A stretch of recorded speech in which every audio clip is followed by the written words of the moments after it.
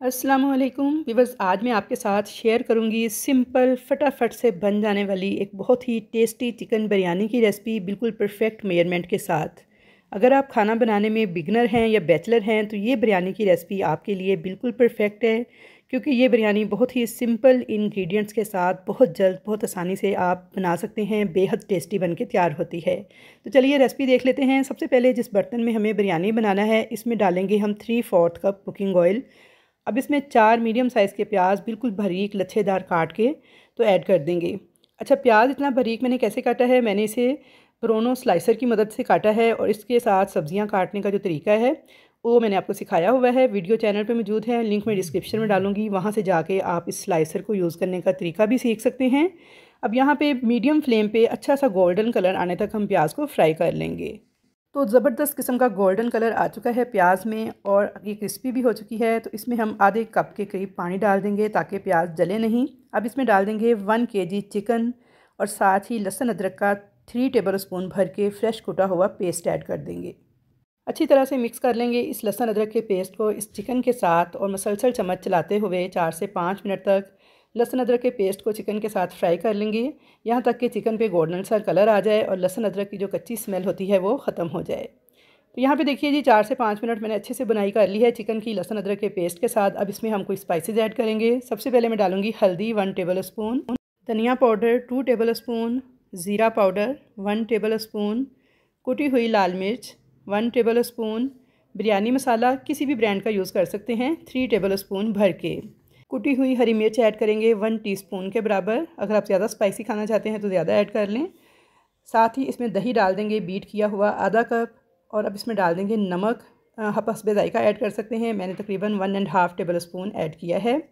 एक table spoon fresh लीमू का रस ऐड कर देंगे। अब तमाम चीज़ों को अच्छी तरह चिकन के साथ भून लेंगे। यहाँ तक कि ऑयल जो है वो सेपरेट होने लगे। इस पॉइंट पर आपने चिकन की मसालों के साथ बहुत अच्छी तरह से बुनाई करनी है। जितनी अच्छी मसालों के साथ बुनाई करेंगे, इतना ही ज़बरदस्त चिकन का टेस्ट आएगा बिरयानी में। तो यहाँ पे देखिए जी, मसलसल चम्मच चलाते हुए मैंने चिकन को फ्राई, भून लिया था मसालों के साथ, ऑयल इसमें से सेपरेट होने लगा था। तो अब मैं इसके अंदर डाल दूँगी तीन से चार मीडियम टमाटर, जो कि पतले पतले स्लाइसिस की शक्ल में मैंने काट लिए थे। ताकि जल्दी सॉफ्ट हो जाए और मिक्स हो जाए मसाले में। चार से पाँच खुश्क आलू बुहारे ऐड कर देंगे। ऑप्शनल हैं, अगर हो तो ज़रूर डालिएगा, बहुत अच्छा टेस्ट आएगा, अगर ना हो तो स्किप कर दें। हरी मिर्चें डाल देंगे साबुत, पाँच से छः अदद। मिक्स कर लेंगे अच्छी तरह से और अब इसके अंदर डाल देंगे एक मुट्ठी भर के हरा धनिया। थोड़े से पुदीने के पत्ते भी ऐड कर देंगे। पुदीने का फ्लेवर काफ़ी स्ट्रॉन्ग होता है, इसलिए कम ही ऐड कीजिएगा और अब इसमें एक कप पानी डाल के मिक्स करके इसे कवर करके मीडियम फ्लेम पे पकने के लिए छोड़ देंगे। यहाँ तक कि जो चिकन है, हमारा वो सॉफ्ट हो जाए। तो यहाँ पे इसे मैंने कवर कर दिया था पंद्रह मिनट के लिए मीडियम फ्लेम पर। अब चावल तैयार करने के लिए मैंने तीन से चार लीटर पानी को गर्म होने के लिए रख दिया है और इसमें ये सारे साबुत गर्म मसाले ऐड कर दूँगी, जिसमें वन टीस्पून काली मिर्चें, एक बादियान का फूल, दो तेज़ पत्ते एक दालचीनी की स्टिक छः अदद लौंग, पाँच सब्ज़ इलायची और एक बड़ी इलायची है। साथ ही लीमू का रस डाल दूँगी वन टेबल स्पून भर के। लीमू का रस ज़रूर ऐड कीजिएगा, इससे चावल बहुत खिले खिले से पकते हैं। अब इसमें नमक डाल दूँगी थ्री टेबल स्पून भर के। कुकिंग ऑयल डाल दूँगी तकरीबन थ्री टेबल स्पून के बराबर। अब इसमें बॉयल आने का इंतज़ार करेंगे। दो से तीन बॉयल आ जाएँ पानी में तो इसके अंदर मैं चावल शामिल कर दूँगी, जो कि चार कप चावल थे, वज़न में 700 ग्राम के बराबर थे, और इन्हें मैंने आधा घंटा पहले भुगो के रखा था। सिंपल बासमती चावल हैं ये।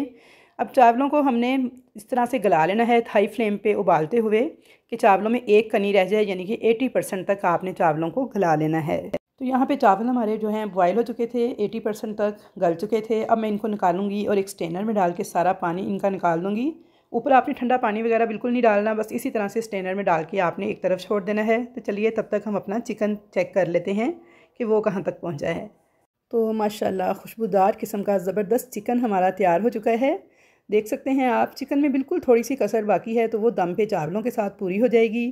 तो यहाँ पे देखिए, चिकन के अंदर इतनी ग्रेवी होनी चाहिए जब आपने इसमें चावल ऐड करने हैं। अगर आपको इससे कम ग्रेवी लगे तो आप थोड़ा सा पानी ऐड कर सकते हैं। अब जो चावल हमने बॉयल करके रखे थे, उसे हम साथ के साथ ही इसमें ऐड कर देंगे। तो आप देख सकते हैं मेरे चावलों में से स्टीम निकल रही है, क्योंकि मैंने दूसरी तरफ़ साथ वाले चूल्हे पर ही साथ के साथ ही चावल बॉयल किए हैं। तो आप भी अगर इस तरीके से चावलों को साथ के साथ बॉयल करेंगे तो बेहतरीन रिज़ल्ट मिलेगा, आपको आपकी बिरयानी बेहतरीन बन के तैयार होगी। तो यहाँ पे देखिए, चावल सारे मैंने डाल दिए हैं, उस चिकन के ऊपर फ्लेम बिल्कुल लो कर दूँगी मैं नीचे जैसे चावलों को दम लगाते हैं। थोड़ा सा मैंने ऑरेंज फ़ूड कलर इस पर डाला है, थोड़ा सा येलो फ़ूड कलर डाला है। आपके पास अगर दोनों में से कोई एक हो तो आप वो भी ऐड कर सकते हैं। अब इसके अंदर एक से दो टेबल स्पून कुकिंग ऑयल ऊपर इस तरह से ऐड कर देंगे छिड़कते हुए, ताकि चावल ऊपर से बिल्कुल रुखे ना बने। साथ ही इसमें मैंने कैवड़ा एसेंस के तीन से चार ड्रॉप्स ऐड कर दिए हैं। तो अब हम इसके ऊपर इस तरह से कपड़ा, रुमाल या पोना कोई भी चीज़, सूती आप इसके ऊपर रख कर ढक्कन रख कर इसको दम लगा देंगे पूरे 20 मिनट के लिए बिल्कुल लो फ्लेम पर। नीचे आप तवा रख लीजिएगा और चावलों को दम पे छोड़ दीजिएगा। तो 20 मिनट के बाद चेक कर लेते हैं। तो अल्हम्दुलिल्लाह, माशाल्लाह खुशबुएँ हमारे पूरे घर में फैल चुकी हैं बिरयानी की। बिरयानी ज़बरदस्त पक के तैयार हो चुकी है, लेकिन आपने क्या करना है कि इसको फ्लेम को ऑफ़ करना है, दोबारा से कवर करना है और 10 से 12 मिनट के लिए इसी तरह से छोड़ देना है। 10 से 12 मिनट के बाद अब आपने ढक्कन को खोलना है और नीचे से ऊपर की तरफ़ चम्मच के साथ मिक्स करते हुए आपने चावलों की मिक्सिंग कर लेनी है। तो जब आप इस तरह से इन्हें 10 मिनट रेस्ट देकर खोलेंगे तो बेहतरीन आपके चावल जो हैं वो खिले खिले से बन के तैयार होंगे। तो बस ये छोटी सी एक टिप थी कि अगर आप चाहते हैं आपके चावल बिल्कुल खिले खिले खुशबूदार बन के तैयार हों तो आपने फ़ौरन से बिरयानी को नहीं हिलाना, बल्कि आपने दम खोलने के बाद फ्लेम ऑफ़ कर देना है और दस मिनट तक इनको इसी तरह से छोड़ देना है। उसके बाद आपने खोल के इसकी मिक्सिंग स्टार्ट करनी है।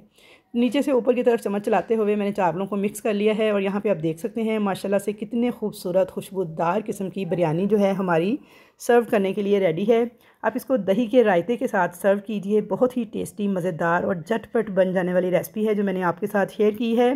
तो आई होप व्यूवर्स कि आपको मेरी आज की मज़ेदार बिरयानी बनाने की रेसिपी ज़रूर पसंद आएगी। रेसिपी अगर पसंद आए तो वीडियो को लाइक, शेयर करना मत भूलिएगा। चैनल पर नए हैं तो सब्सक्राइब ज़रूर कीजिएगा और कमेंट सेक्शन में अपनी कीमती राय का इजहार ज़रूर कीजिएगा कि आपको मेरी ये बिरयानी बनाने की रेसिपी कैसी लगी। तो इन ताला मुलाकात होगी ऐसी ही मज़े मज़े की रेसिपीज़ के साथ। तब तक के लिए अल्लाह हाफिज़।